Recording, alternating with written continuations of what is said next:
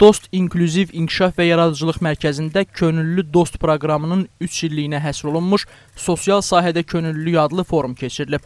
Toplantını Əmək və Əhalinin Sosial Müdafiəsi Naziri Sahil Babayev açaraq Dost könüllülərinin fəaliyyəti barədə iştirakçılara geniş məlumat verib. O bildirib ki, könüllü olmaq üçün quruma 3 il ərzində 60 mindən çox müraciət daxil olub. Artıq 200 könüllü bizim mərkəzlərdə daimi işə düzəlib. Yəni o könüllülərin içində ən yaxşı 200 artıq işləyir. Və mərkəzlərin sayı artdıqca da bu artacaqdır. Nəzərə alan ki, gəlin 5 mərkəzimiz var və artıq 200 könüllümüz daimi işçi kimi bu sayda çalışır. Mərkəzlərin sayı artdıqca həm könüllülərin sayı artacaqdır, həm də oradan daimi işə keçənlərin sayı artacaqdır. Pandemiya dövründə böyük rolumuz oldu.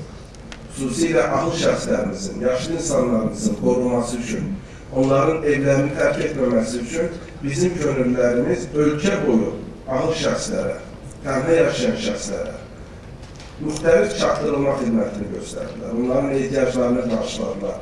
Ərzaqlarını, dərmanlarını alaraq onların evlərinə çatdırdı və pandemiyadan da biz o insanlarımızı tam qoruyaraq çıxdıq.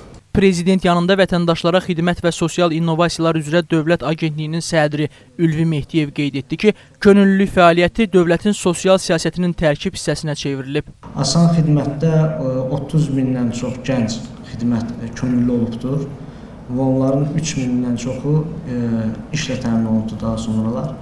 Və Asan Könüllülər Təşkilatı 2013-cü ildən fəaliyyət göstərir və bu günə qədər 800 layihə həyata keçirir.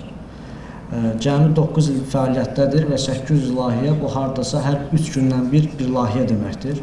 Və bu layihələr həm hərbi vətənpərvərlik mövzusunda olubdur, həm sosial layihələr olubdur, həm təhsil yönümlü layihələr olubdur, müxtəlif e, sahələrdə. Eyni zamanda artıq e, 2018-ci ildən etibarən Əmək Nazirliyi, Əmək və Əhalinin Sosial Müdafiəsi Nazirliyinin dəstəyi ilə asan könüllər bir çox sosial layihələr icra edibdir. Xüsusilə də pandemiya dövründə az təminatlı ailələrə, tənha yaşayan ə, yaşlı şəxslərə və digərlərinə sərt karantin dövründə müxtəlif dəstək tədbirlərinin göstərilməsi istiqamətində çox böyük birgə, dost könüllərlə birgə layihələr icra ediblər. Təhsil naziri Emin Əmrullayev isə çıxışında 1990-cı illərdə könüllü kimi fəaliyyət göstərdiyini söyləyib. Könüllü olaraq etdiklərimiz vasitəsilə öyrəndiklərimiz düşünürəm ki, çox əvəzsizdir və hər bir e, insanın sonraki peşəkar fəaliyyətində könüllü olaraq əldə etdiyi həmin təcrübə ki, bu əsasən gənc yaşlara təsadüf edir.